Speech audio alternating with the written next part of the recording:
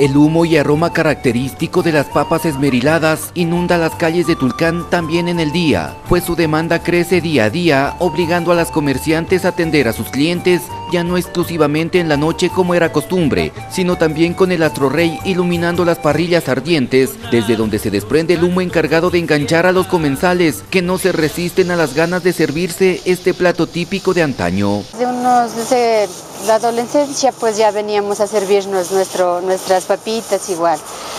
Cuando trabajábamos igualmente nuestra maestra nos, nos traía a, servirnos y vamos, les gasto la tripita. Son alrededor de 30 comerciantes que se dedican a preparar esta tradición gastronómica.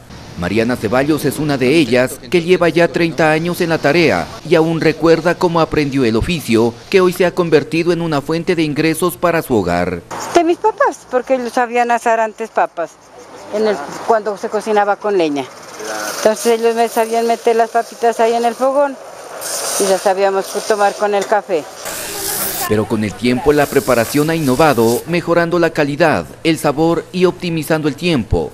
Cuando recién pues han sabido raspar con las latas de atún. Después con las sierras y ahora con el esmeril. ¿Es más rápido? Claro, es más rápido y más fácil. Si bien los principales clientes son del Carchi, no son los únicos, pues aquí llegan de diferentes provincias y del vecino país. No, vienen de Ipiales también, de por arriba, de Quito, ese que les ha gustado las papas nuestras. La papa esmerilada les gusta mucho.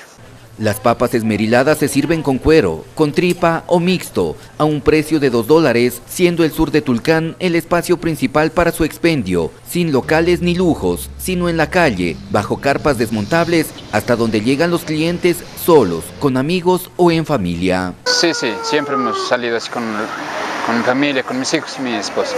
El carbón rojizo pone a punto las papas, el esmeril las pule, el ají está listo sobre la mesa y el humo atrae la clientela que cada vez aumenta más.